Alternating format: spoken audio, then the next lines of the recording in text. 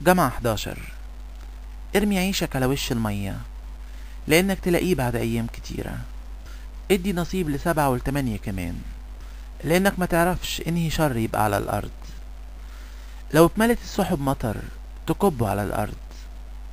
لو وقعت الشجرة ناحية الجنوب أو ناحية الشمال ففي المكان اللي تقع فيه الشجرة هناك بتبقى. اللي يرصد الريح ما يزرعش واللي يراقب السحب ما يحصدش. زي ما انت ما تعرفش إيه هو طريق الريح ولا زي العظم اللي ببطن الحامل. بالشكل ده ما تعرفش أعمال الله اللي بيعمل الكل.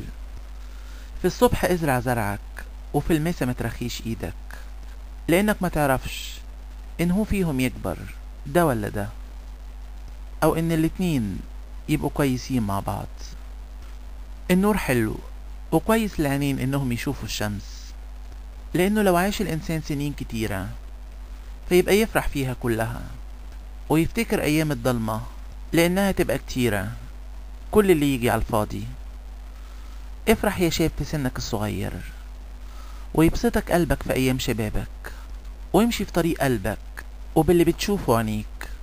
واعرف إنه على كل الحاجات دي يجي بيك الله للحكم فشد الغم من قلبك وابعد الشر عن لحمك لأن السن الصغير والشباب على الفاضي.